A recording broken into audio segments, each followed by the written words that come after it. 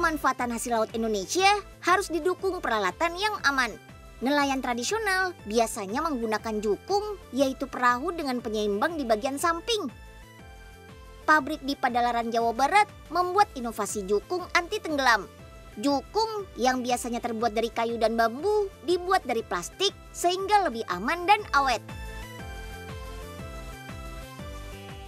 Usro, lagi ngapain sih di situ? Ini nih lagi main perahu.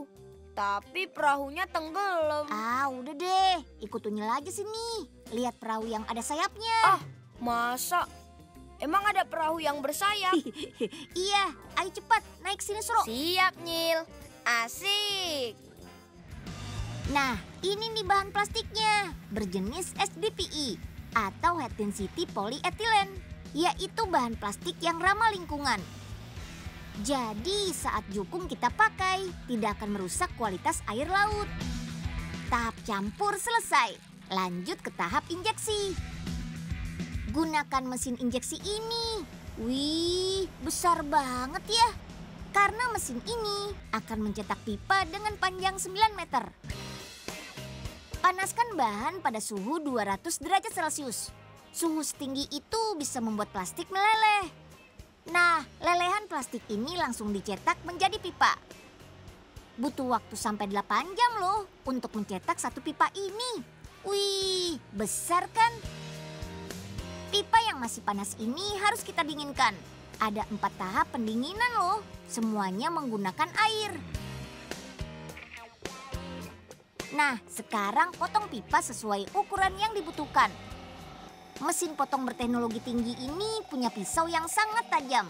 Pipa plastik ini bisa terpotong secara akurat loh. Mantap! Sekarang kita rakit bagian-bagian jukung yuk.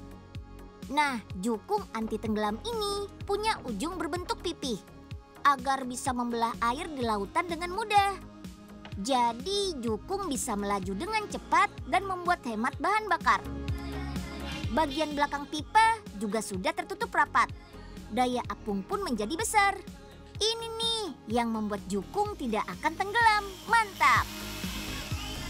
Selanjutnya kita pasang badan jukung. Oh iya, sambung tiap bagian memakai logam anti karat agar jukung awet sampai lebih dari 20 tahun. Wow, lama juga ya.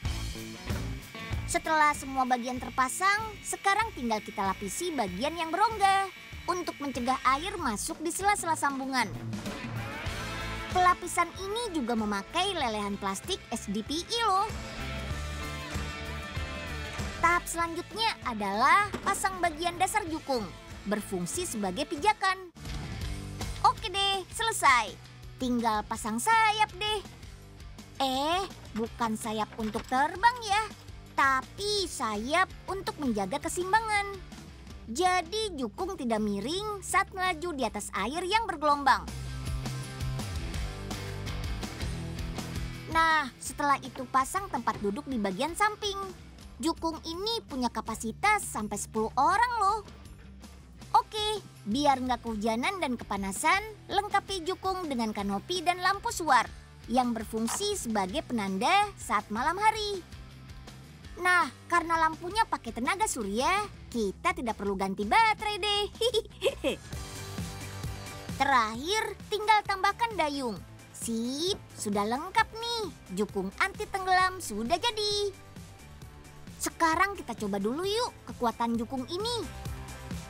Dengan ketebalan 1,4 cm, jukung ini bisa tahan terhadap segala benturan, deburan ombak, serta tajamnya karang-karang di seluruh perairan di Indonesia. Mantap!